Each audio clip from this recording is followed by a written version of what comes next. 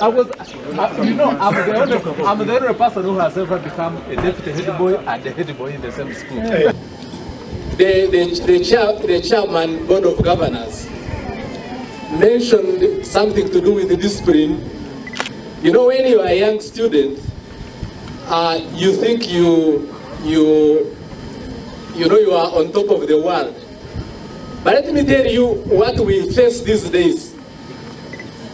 You are going to be appointed to a very big office, like the ones we hold, so you may do these things here thinking that, oh, but they will catch up with you in the future. So that's why when they talk of discipline, take it serious. Take it serious.